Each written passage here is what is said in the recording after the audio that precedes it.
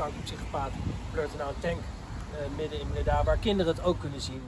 Om de loop van de tank richten ze zo op parkzicht. Dus mocht je nog even willen gabberen... Natuurlijk vraag ik me dan zelf beveken. Was je wel kan het gaat niet goed. Breda aars man. Hou maar man. Nou wordt ingenomen door de nazi. Kijk, hij of zij heeft een Bredan aars. Maar tijd voor een feestje. Nu weten jullie ook gelijk waarom een volgespoten anus de parel van het zuiden wordt genoemd. Moet je even met me meelopen. Het kut, kut, kut. Kankerparel van Breda. Wat? Wat? Stadspark Kronenburg. Kut. Daar hebben we. Nee, ik zou het, ik, nee, ik zou het echt niet weten. Veel precies. Nee, nu gaan we Breda ontdekken. Oer-Brabantse joie de vie. Ik heb het nog niet ontdekt. Het verhaal Lieve Vrouwenkerk. Eh, want de Lieve Vrouwenkerk, die heb je ook in... Wil je even stoppen? Onze. Onze Lieve Vrouwenkerk. Want hij is natuurlijk niet aan mij. God is hier voor alles en iedereen.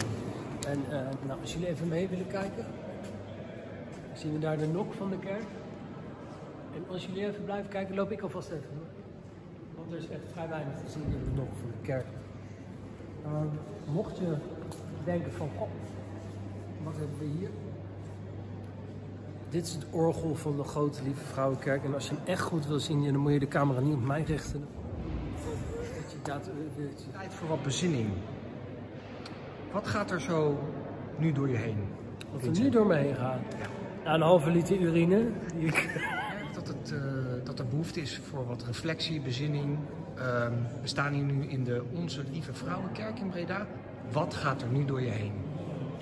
Nou, laat ik vooral beginnen met te vertellen wat er vooral niet door me heen gaat. Dat je, dat je in een land mag leven wat, wat, wat bijna gebukt gaat onder een totaal satanische dictatuur. Dan wel heel erg leuk is dat elke fucking kathedraal of kerk waar ik dan kom, eh, ze lijken allemaal op elkaar, maar een wc die, hebben, die is er niet eh, te vinden. Nou, hier ligt dan eh, Nassau, of twee Nassau's in ieder geval.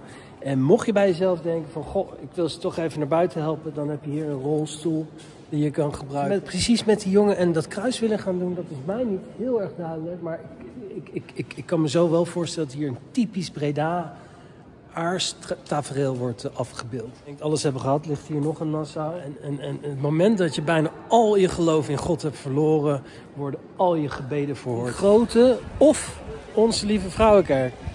Wat wil je nou? Eh, dat mensen je überhaupt serieus nemen? Dat ze denken, ja, ik ga naar de grote kerk. Of ik ga naar onze lieve vrouwenkerk.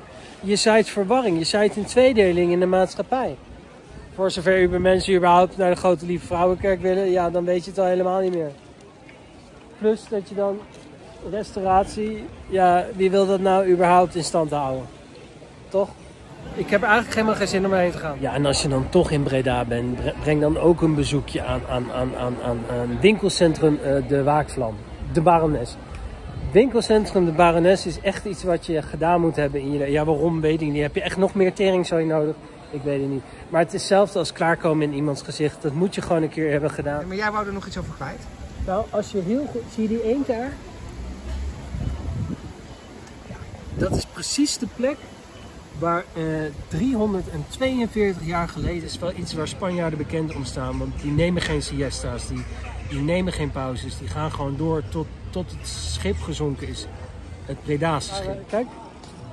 Daar varen ze net weg. Die denken, fuck deze shit, ik heb het wel gezien in Breda. Want deze hangslotjesbrug is dus voor jou en de liefde van je leven. Die over twee jaar ben je er al lang zat.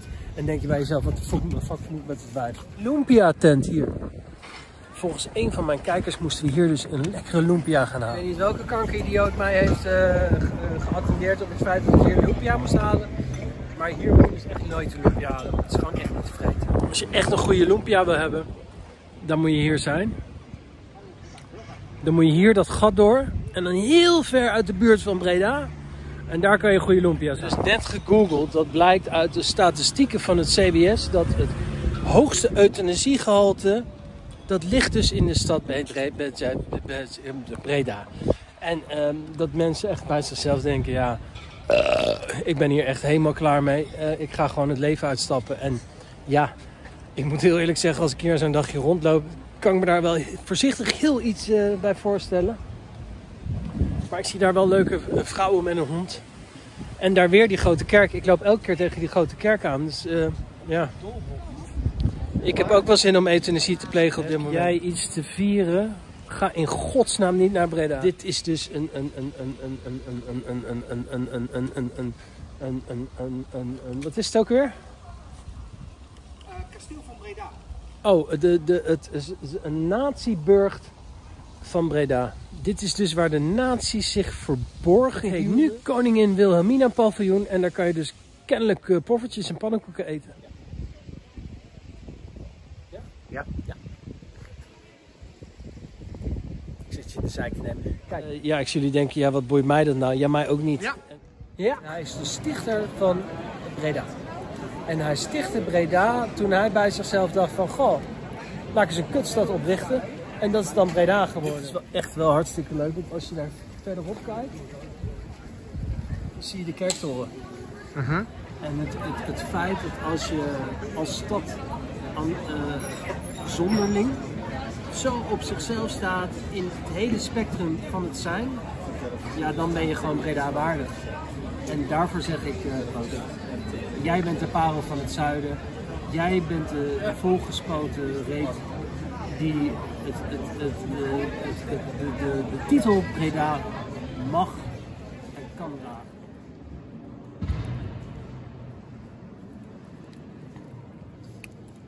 Ik ben nog niet eens naar binnen geweest en ik weet het nu al.